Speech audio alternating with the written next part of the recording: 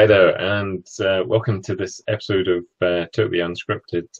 Um, I'm delighted um, that we've been able, uh, via uh, VPNs, proxies, uh, and various means, to be joined by uh, Jordan Rhea, who's based in Beijing in China and has done a ton of stuff within the education field and for us on this on the show. He's he's he's doing a lot of that with Google Apps Script. So hi Jordan, welcome to the show.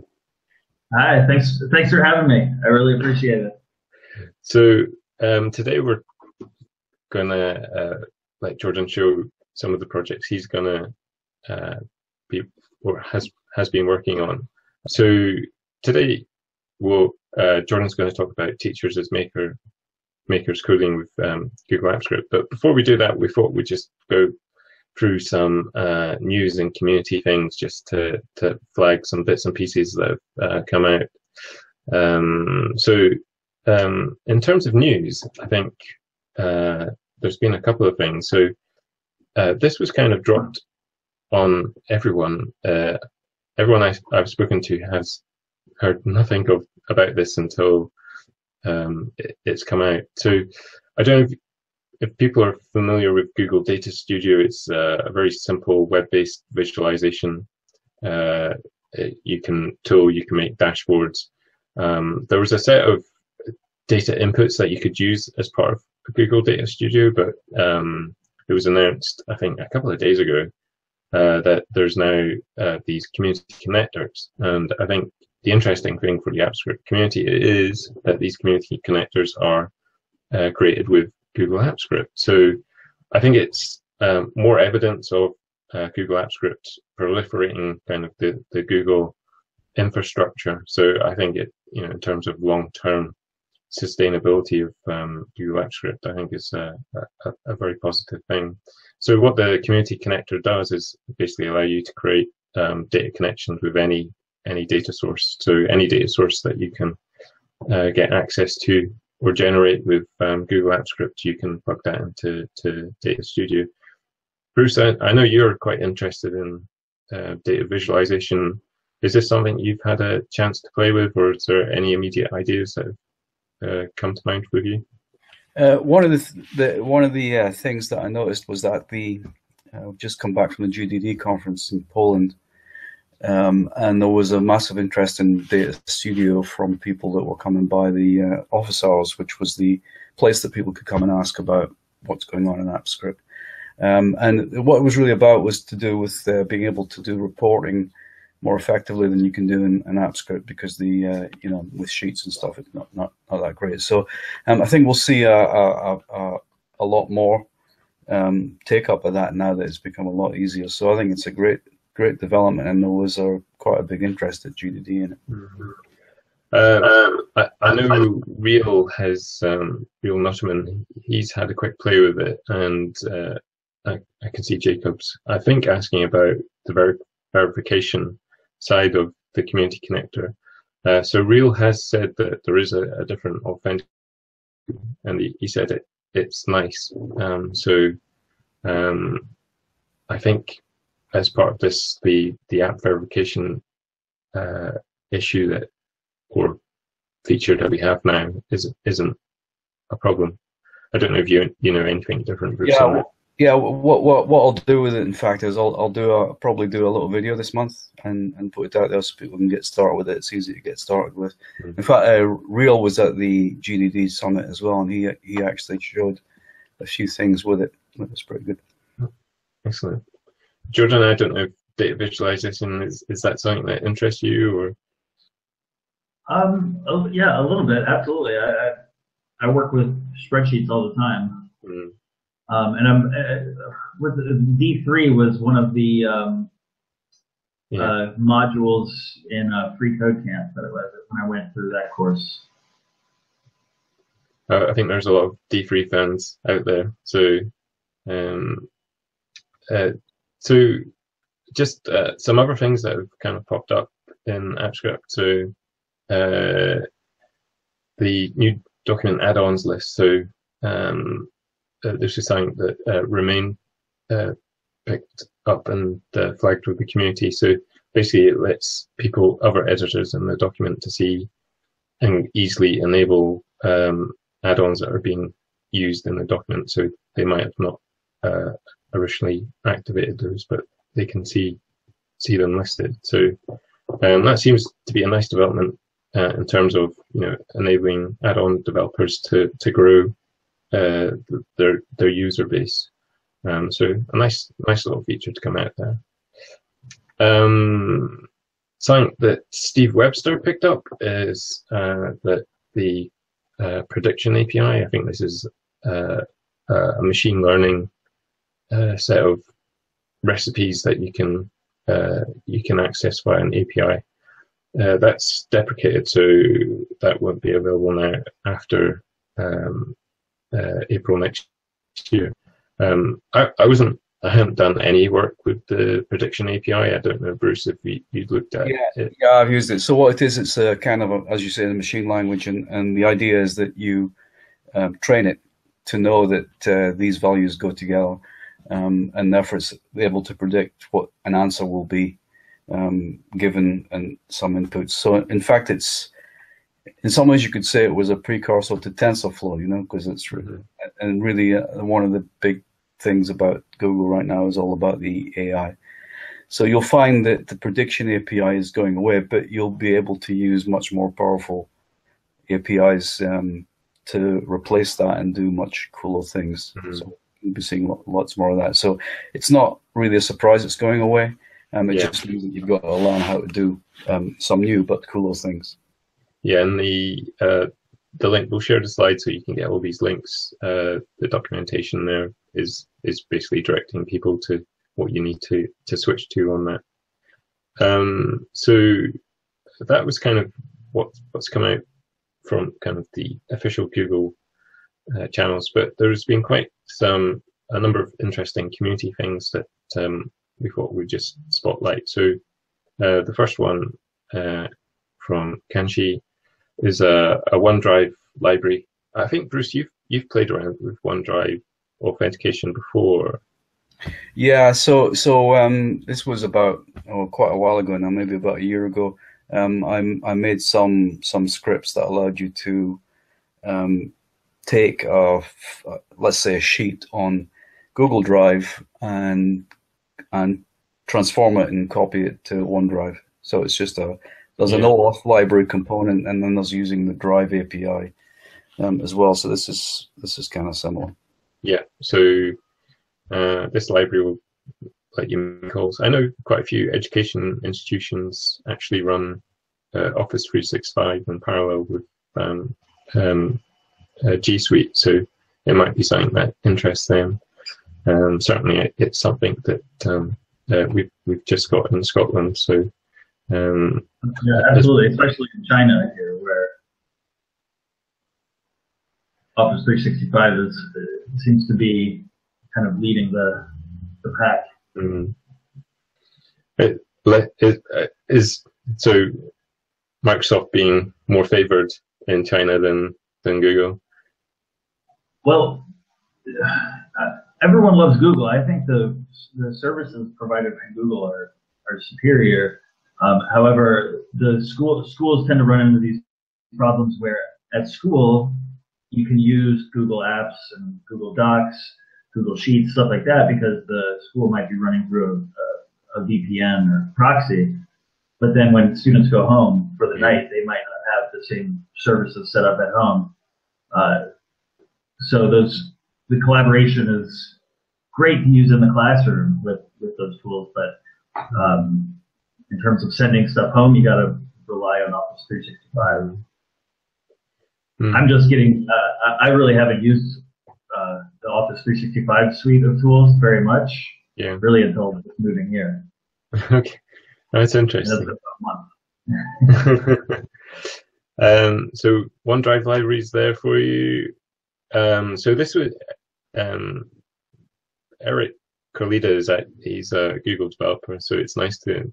I, am not sure if he's still on the Google Apps Script development relations team, um, but uh, he he still contributes bits and pieces. So um, he he flagged a, uh, object spreadsheet mapping library. Um, so um, what this does is it makes it easy to um, you know have a, a, table of data and just query it. So you, you know you can pull off things based on a column value or uh, you know a row. So there've been various ones of these. I think Bruce, you've highlighted a couple of um, ways that you can objectify um, Google Sheets in the past.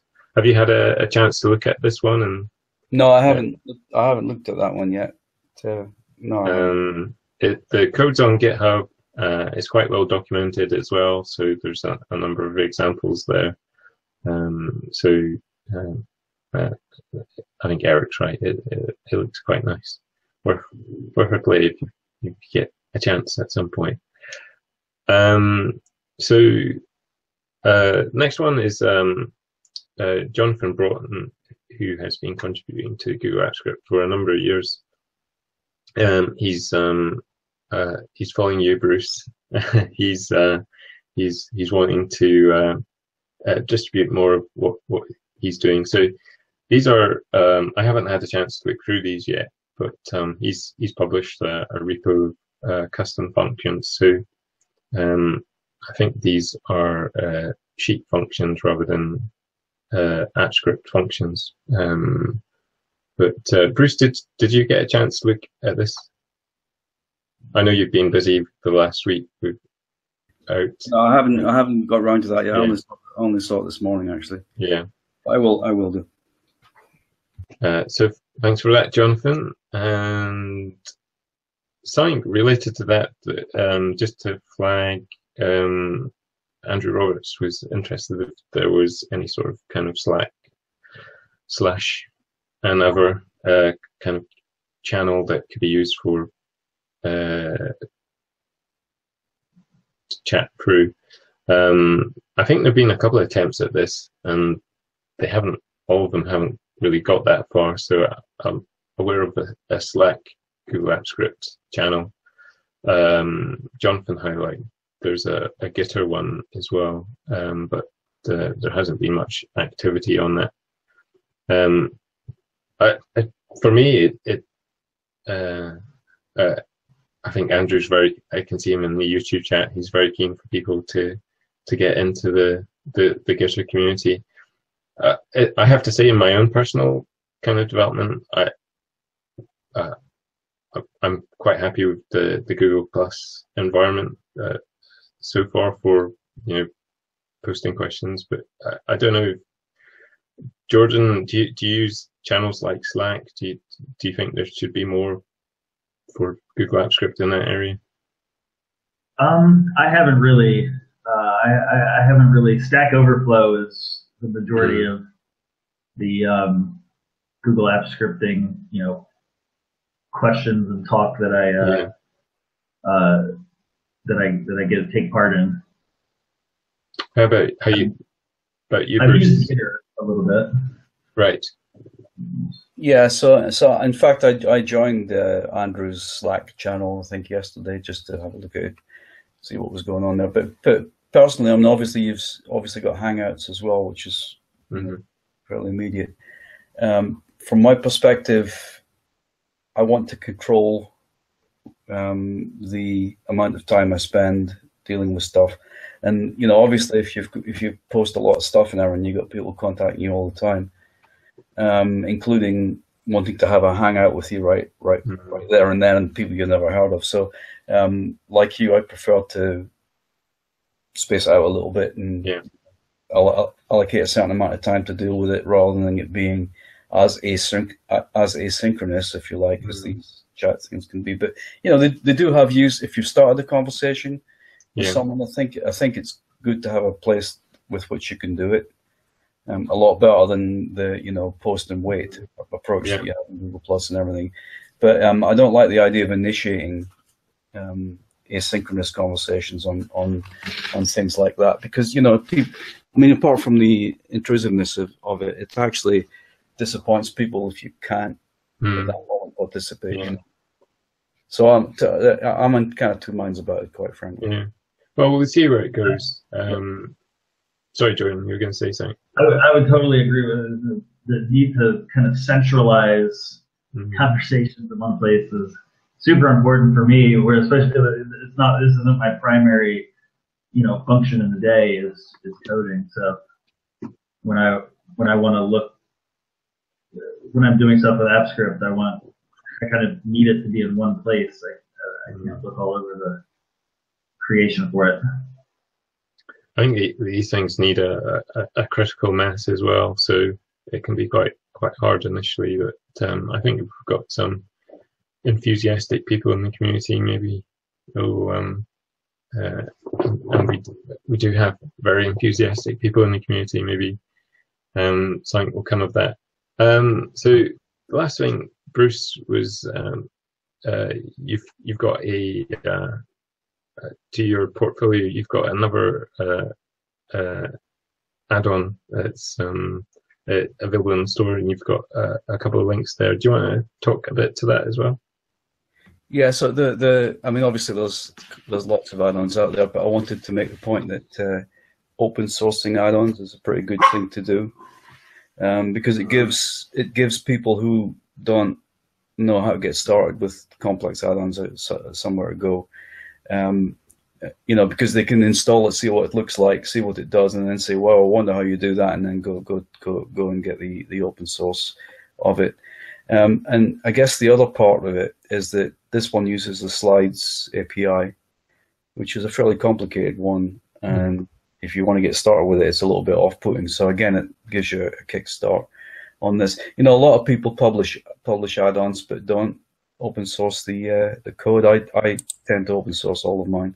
I I, th I, think you know people are concerned that maybe there's a monetization opportunity that they're missing mm -hmm. by not open sourcing it. But quite frankly, it's quite difficult to make any money off the uh, um, the add-on market in any case. So you know, it's you got to think about whether or not you want to to do something for the for the buzz of doing it, or whether you think you might yeah. want to able to make some money out of it. So I would highly recommend people who are writing add-ons to, or in fact any code that they feel should be public, to make it public, and everybody will benefit.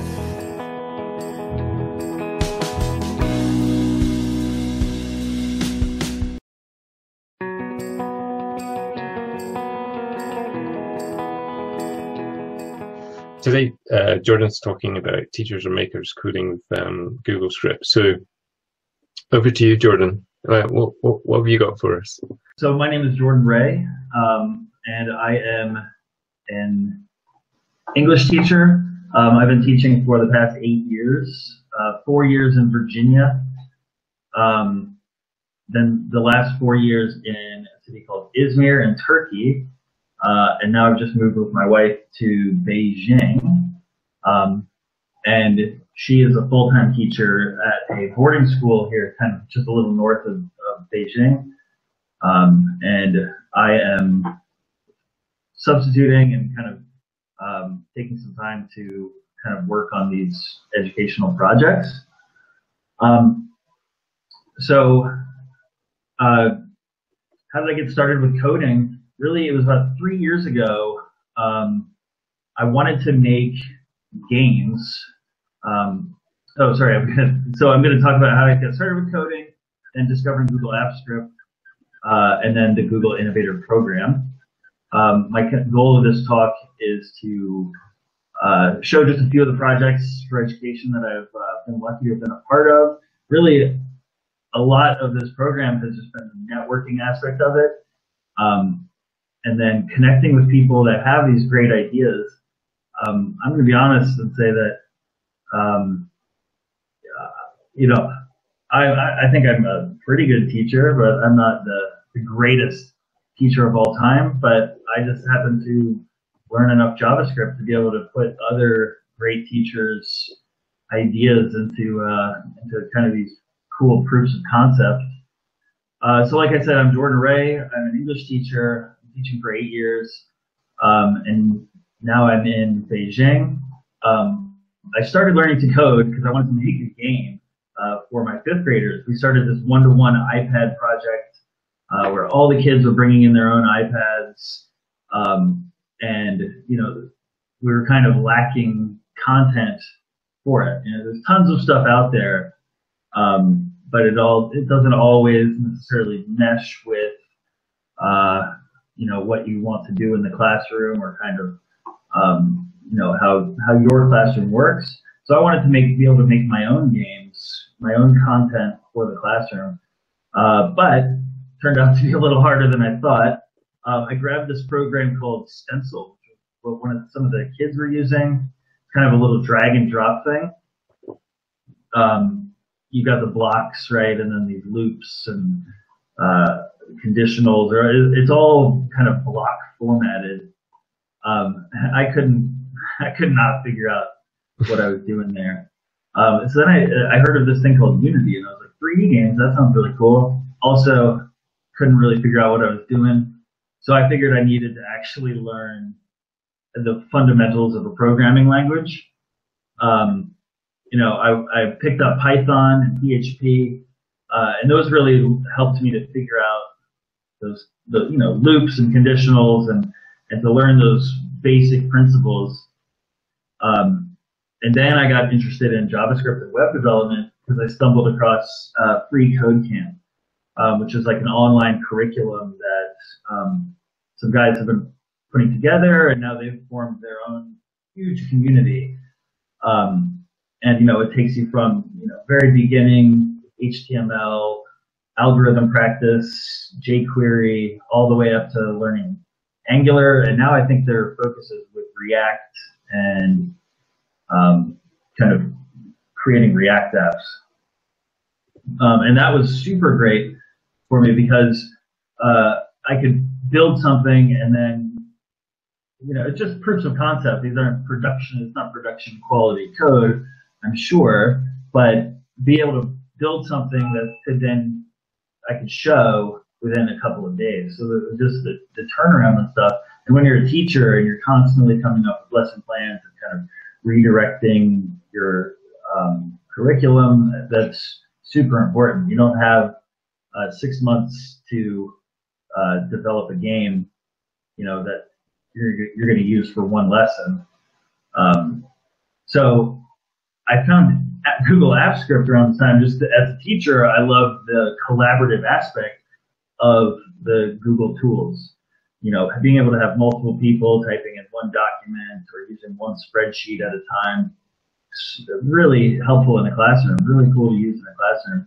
And then I realized that Google Apps Script is just built on JavaScript, which is this programming language that I'm learning.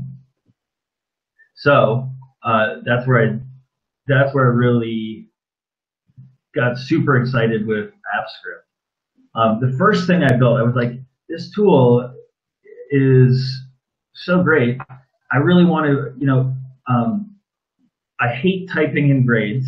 I, I, I, just hate doing it. But it's a, it's just a part of being a teacher. You gotta, you gotta type in grades. How can I make it a little bit faster? So I created, this is, I think, my first add-on. I created this tool with um, uh, jQuery and uh, really just so that I could type in grades more quickly. Um, and all it does is allow you to, uh, you know, select where, you know, which column you're putting a grade into. Um, it's got a, a grading scale for reference if you need it, but then you can just uh, uses the jQuery autocomplete, um, and then I can just type in grade super quickly, and then it just focuses automatically back up to the, the right name.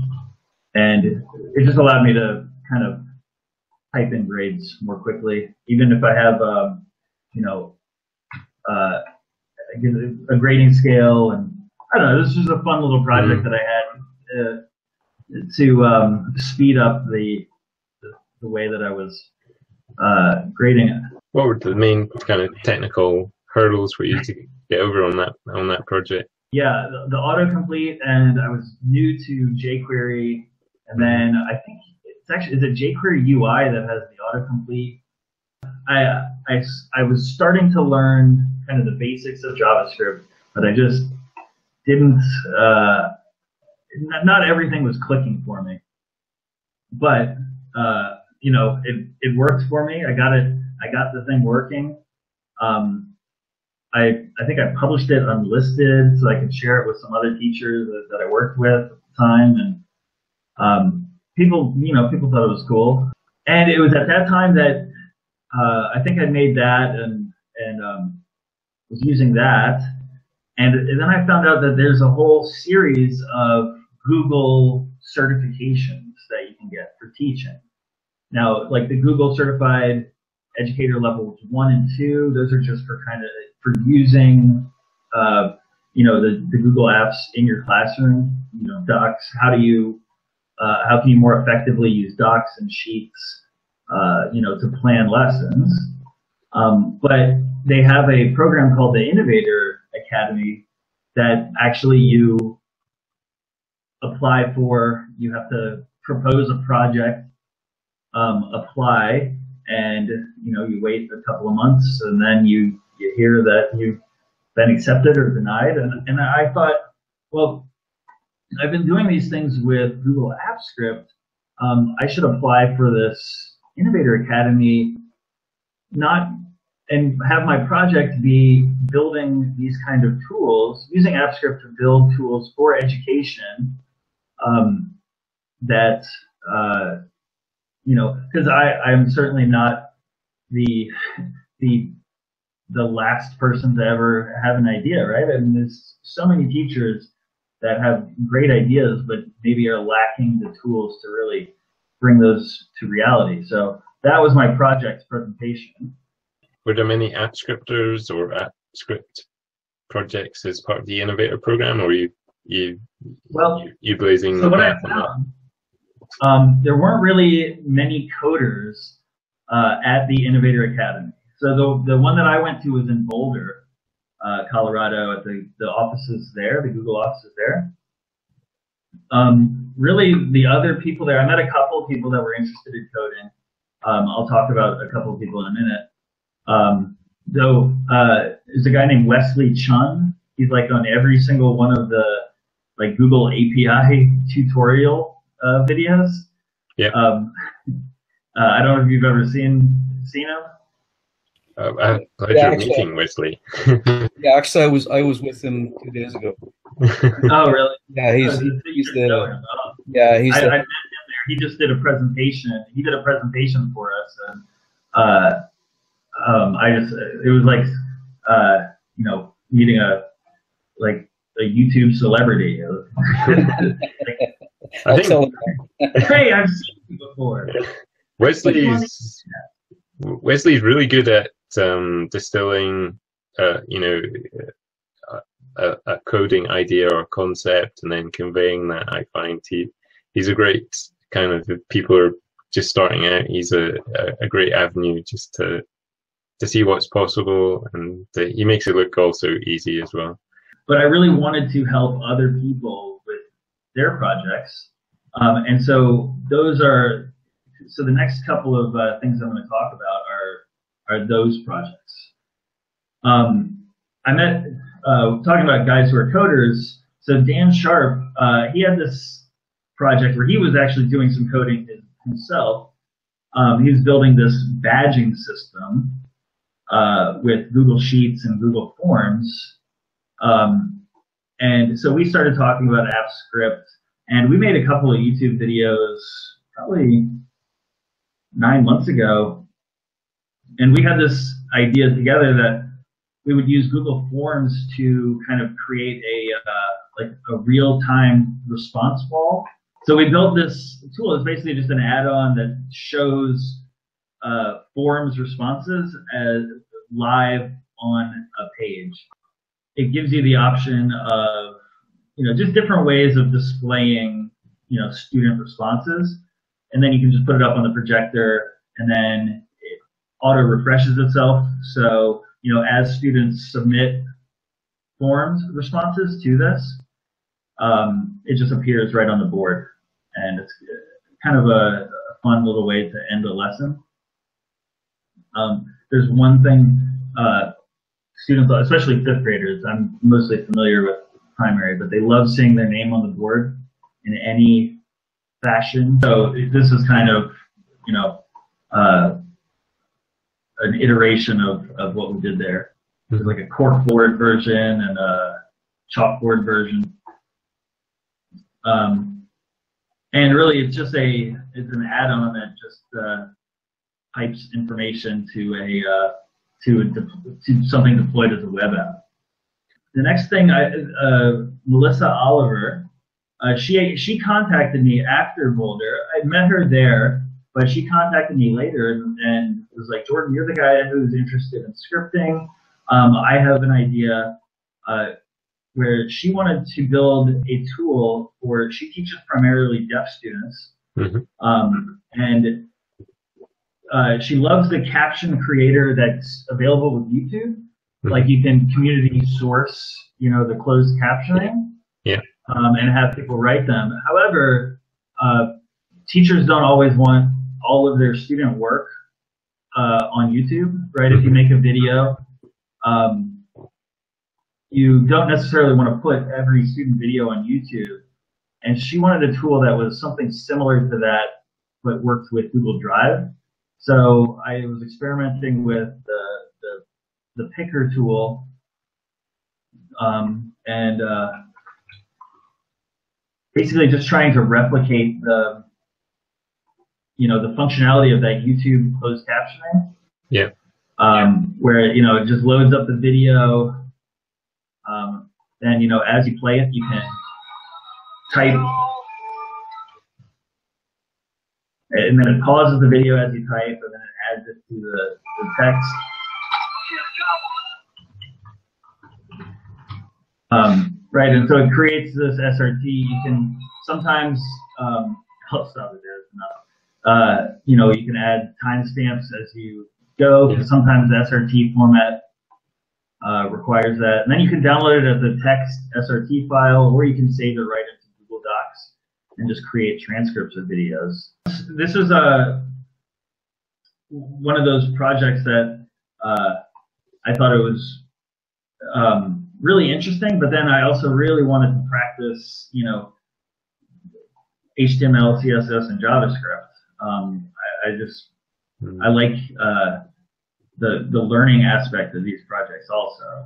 Um, I think when you when you start developing add-ons, um, that there, there's you know so much user interfacing that needs to be done. Um, yeah. Do you, what's your kind of flow for that? Are you just looking for existing examples of HTML markup, or do you just start from scratch? What, how do you usually go about it? Well, so like this was, um, I used a framework called Skeleton CSS mm-hmm. um, to just kind of get the, to just create some CSS layout. Uh, and then I just kind of sketched out in a notebook kind of what I wanted to wanted it to look like. Um, and then just created from there. I, I don't have a super professional wireframing um, system for what I'm doing. What was uh, what was next? Uh, this library portfolio. So this was um, actually built with not with somebody that I met in Boulder. I'm to just throw this into the, the middle here. But the librarian at the school where I worked in Turkey, uh, she wanted a way to kind of engage students when they came into the library. Um, the library lessons were like once a week, and they were kind of hectic. Got 20, you know, middle school or primary school kids, you know, in a library, and you you want them to get books, but you kind of want to direct them at the same time. So she wanted um, like a, a, quiz that was kind of like one of those. Um, uh, what am I thinking of? Those BuzzFeed quizzes that you get all the time, right? Where there's like, you know, which which of the Scooby Doo characters are you? And then you answer a bunch of questions, and it tells you which character you are from Scooby Doo.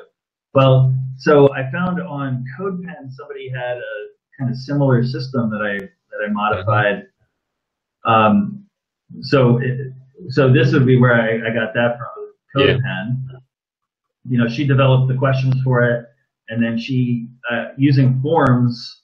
Um, she just created these lists of books, and then I tied into the Goodreads API to pull book covers. Um, and then students can you know, select these books, and then it starts a uh, kind of a there's a reading response project for them in a folder for them on Google Drive. Um, and then you can see all of the, the little projects that you've mm-hmm. got here on Google Drive, and it, it links to them. Um, and then she she created all these templates, right? So I just coded it to take her templates randomly, one of these templates out of there, and then Destiny Quest is a um, a system that a lot of school libraries use. Uh, um, and so it kind of ties in a bunch of different uh, services um, just to make it easier for her and for the students too uh, to to keep track of um, what they're doing, build a reading list. And so that's the library portfolio. Um, that was a really that was really fun for me just to kind of use APIs that I'm not familiar with to um, you know with AppScript. Then uh, an email summarizer with a uh, um, Desiree Alexander, who I met in Boulder also, she wanted a, um, we get lots of emails and then she wanted a way to kind of summarize emails the way that, you know, in Google Groups, you can choose to like have a daily summary instead of mm. constant updates. Well, she wanted a way to do that um, with, you know, other emails. And so I thought a cool way to do it would be to, to take um, uh, labels, summarize those, and then archive them, and then it sends you a document of those at the end of the day. Um, and uh, that was a, a, learning experience for me with triggers and how to how the triggers work. Most recently, um, this uh, multi drop-down data validator that I built. My friend Daniel Sharp, I mentioned him earlier. Mm-hmm. Um, he messaged me with this idea to create uh, those drop-down data validations mm-hmm. um, that are dependent on each other. So you know when you select um, when you select something, it creates a drop-down to the, yeah. the right, and then as you change it. Um, so we came up with a couple of different uh, different ways to do that with named ranges. So uh, that was the last uh, project. I think you um, pu- published quite a few videos around some of these, so I think with the um, on your YouTube channel. Yeah, I, I so I like to make because um, I don't like I've I've tried to start a blog at various times, but I just I don't keep up with it. Mm-hmm. Um, it's easier for me to kind of demonstrate what I'm doing when somebody has a question on on YouTube than um, than writing a blog post. If you go to my YouTube channel, you can see a ton of different projects. Some of a lot of them, um, or no, sorry, all of them are really they're proofs of concept, just to show what is capable with Google Apps Script, what you're capable of doing with Google Apps Script. Because I think a lot of a lot of teachers aren't aware um, of those things, and, and you know, I I used to hear in meetings all the time, it'd be great if it did this, Mm. Uh, too bad it doesn't, and then that's the end of the conversation. when I think really it doesn't need to be the end of the conversation because I think there are so many things that are possible. I actually I hesitate to even say that something isn't possible um, because you know I've uh, i am so stubborn that I just I kind of uh, if it's not possible in the most direct way, I I'll find an API somewhere or, or find some hacky solution to, to make it work. The question I always get asked is where do you start? So what would be your I, I always don't have an answer to that. what would you I, I can't say enough good things about Free Code Camp.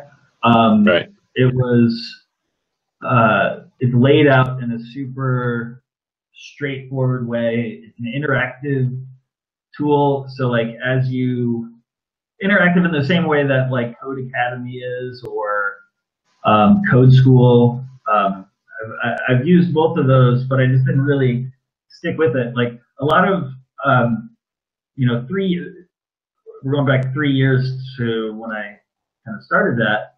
And um, a lot of the tools for learning that I found were like, okay, so uh, okay, here's a string, and this is an integer, and this is an object. An object is the blueprints for building a house. Uh, now build uh, the next Facebook. Um, and it's like I, I don't know how to get from you know the ABCs to the you know uh, you know to full on Latin. You know, like yeah. I, I, don't. Yeah. Uh, so Free Code Camp was provided all of these projects along the way, and that's really what gave me the idea to, um, you know, because you you do some stuff with jQuery, and then they're like, okay, here's five project ideas, now build them.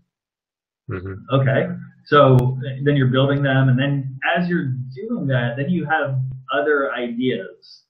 Um, and you know, so it was somewhere around there that I was like, you know what, would be really like building this stopwatch is cool, but you know what I actually need is a grading tool for for when I'm typing in grades. Can I use the st- same stuff that I'm using with jQuery to build that? I wonder.